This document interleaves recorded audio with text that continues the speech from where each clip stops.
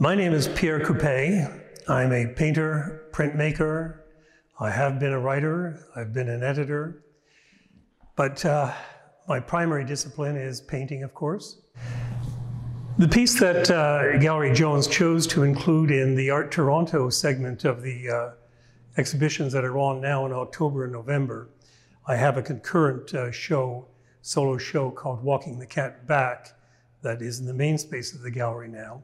But this piece is White Painting 1, and it's quite a bit different from the pieces in the uh, solo show. And it's one of those paintings that uh, uh, is really outside of the groups and series or clusters, as they call them, that I have as my main focus. Every now and then there's a painting that sort of squeaks out of the mold.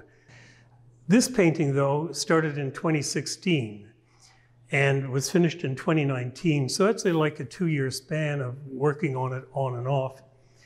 And it's one of those pieces that uh, baffles you because you're not quite sure where you're going with it over that long period of time, and yet you know that there's something there that you have to stick with, whether you like it or not.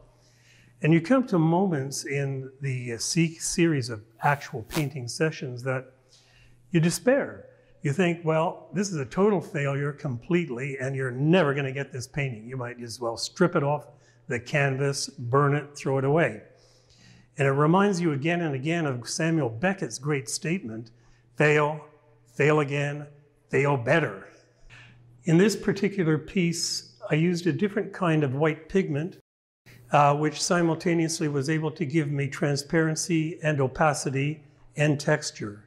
And I could even dig into it and uh, with chopsticks or whatever, my hand, whatever, the end of the paintbrush, and to uh, get a, more, a kind of a varied surface that you don't find in my usual series of paintings.